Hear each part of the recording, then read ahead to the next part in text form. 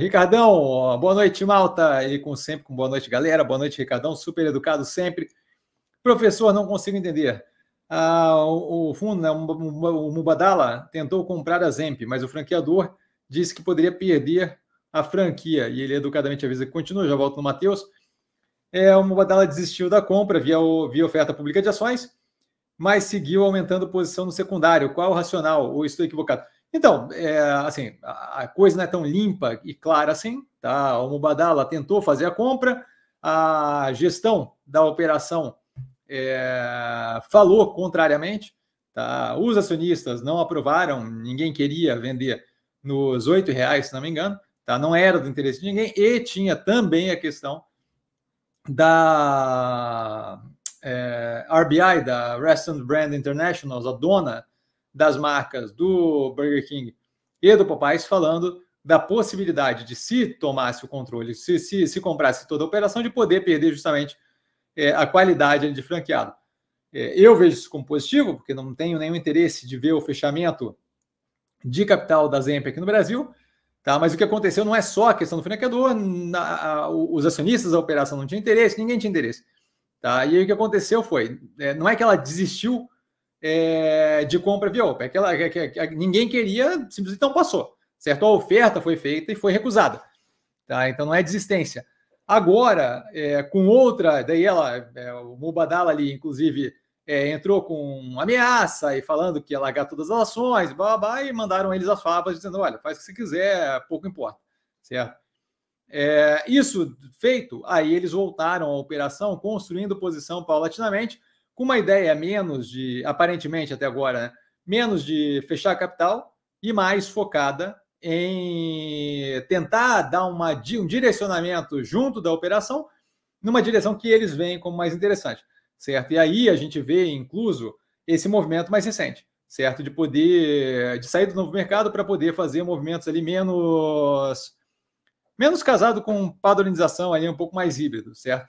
Então, é por que o aumento da posição contínua no secundário? Porque dá direito a você começar a ter algum tipo de influência no Board of Directors, certo? No conselho de administração. É, e aí você consegue justamente começar a guiar, é, de forma indireta, obviamente, mas começar a guiar é, o direcionamento de para onde vamos com a operação, certo? A gente viu na sequência ali daquela votação do da AGE, Assembleia Geral Extraordinária, de saída do novo mercado, justamente já na sequência a saída, a renúncia do presidente do conselho e de um membro do conselho.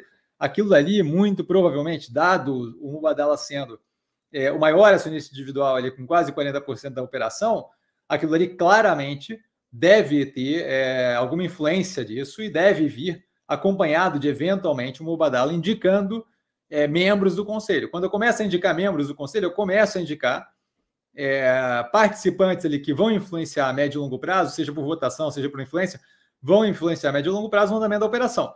E parece que eles têm uma visão um delta diferente do que está sendo executado, certo? O que a gente tem visto aí executado é, é, é uma coisa é, menos agressiva ali no, no modo de, de crescimento, de avanço da operação, e mais focado ali justamente em procurar retornar a qualidade operacional que a gente tinha anteriormente. O Mubadala aparentemente tem a intenção de o quê? De expansão mais agressiva, através de é, fusão ali com operações como Starbucks, como Subway, possivelmente, criando mais uma House of Brands, criando mais uma casa de marcas ali, com mais marcas, que diga de passagem há tempos atrás era a intenção do, do Burger King, tá? A gente inclusive teve acordo fechado com Domino's, que acabou sendo é, rescindido, uma vez que a gente teve ali um momento mais tenso com relação a preços de, preços de ativos, de derretimento e tal, mas a gente já tinha, já, já vinha nesse direcionamento. Então, assim, o que eu não tenho como falar efetivamente pela intenção do Mubadala, mas o que me parece é você vê que você não vai conseguir simplesmente fazer um open e fechar capital, porque você vai perder a franquia e isso daí deixa de ser interessante a operação como um todo. Então, qual é a segunda melhor opção? A segunda melhor opção é ter algum nível de controle ou influência gigantesca.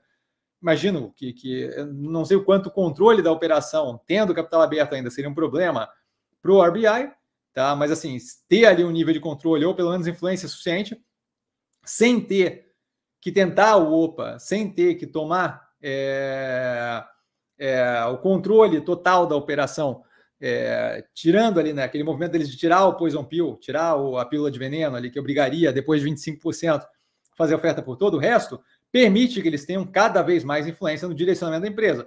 Ah, mas por que eles vão querer mais tamanho? Olha, se eu vou investir em algo que eu vou dar um direcionamento que eu vejo que médio e longo prazo vai ser positivo, me, me interessa ter mais participação naquilo para poder aproveitar o máximo possível do resultado final daquela coisa, certo? Então, assim, é, se eles alocam ali na, na Zemp, a Zemp vai super bem, e eles têm 10%, o ganho deles é uma coisa. Se eles têm 40%, o ganho dele é outro completamente diferente, certo? Se eu tenho interesse ali, eu acho que parte disso é a vontade de, de, de dar um direcionamento ali mais casado com que eles veem como mais positivo, e parte é justamente quanto mais participação eu tenho, mais é, resultado ali positivo vem para mim, uma vez meu plano dando certo e a coisa acontecendo numa direção que eu vejo como interessante.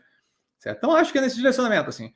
É, acho que, acho que a vontade me parece bastante ali, especialmente logo na sequência ali da votação da GE, a renúncia do presidente e de outro membro do conselho, me parece bastante a vontade do Mubadala poder influenciar mais no direcionamento que toma a empresa. Tá? Espero ter sido claro.